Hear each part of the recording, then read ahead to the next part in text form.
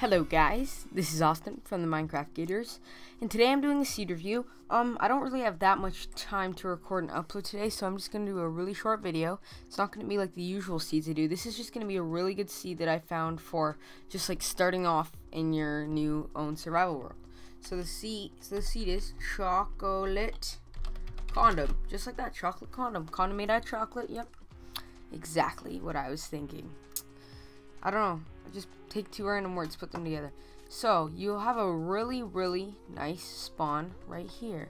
As you can see, just from the spawn, you can get two types of wood, coal, and coal, and food.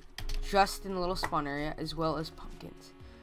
As you come up over here, you will see two diff two new biomes right here. Pretty much, you can get the birchwood, jungle wood, uh, you can get all four woods. I'll just say that. You can get all four woods just right near spawn. You can also get um uh, some wool because sheep spawn here, and um yeah, you got some coal, a lot of coal that is just completely exposed. So now we will get to our next destination. Um, after you get the coal, there's iron in all these caves. I searched through all of them. There's mini caves just everywhere. But there is something pretty nice about this map. Um, yeah, like I said, there's uh, caves everywhere. But as we get closer over here, we will see an NPC village.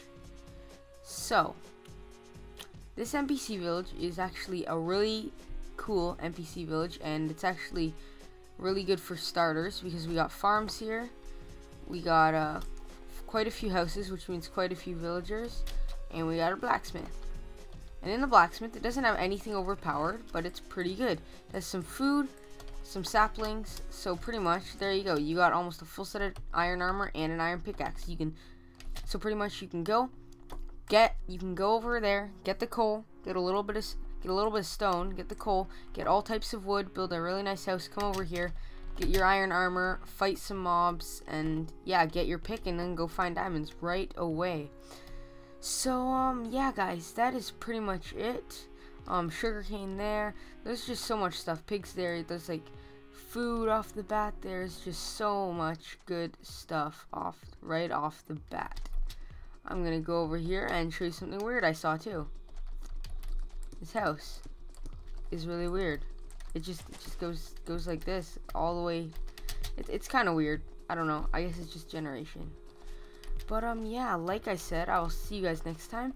There's your iron right there. There's your iron right there. Just come to this village. You got some mo uh, mobs in this uh, pit down here, and you can come out right here. So, yeah, guys. I will see you later, and I hope you enjoyed this seed. If, uh, if you have any seeds you know of, I'll leave a suggestion. And if you don't know any seeds, just leave a suggestion of what you want to see. Do you want to see seeds with wicked landscapes? Do you want to see seeds like this with um, just really good for starters? Or do you want to see seeds that are loaded with uh, diamonds, villages, and temples like I've done in all my previous seed reviews? So yeah, that is pretty much it. And leave a comment below. See you later.